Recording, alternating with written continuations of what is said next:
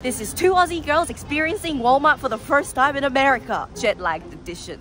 Well, I've actually been here a couple No, of times. I Okay, haven't. Okay. First time with me. What do you think? I'm just looking at those onions. They're really big. I'm a believer. We got these in Australia. We also have this in Australia. No, I know you love your pickles. Put it back. Can I have a photo?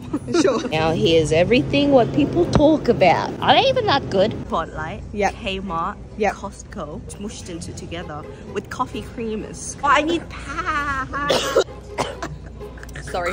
Time supply. Are you getting Wow. a small pack? Value. pack.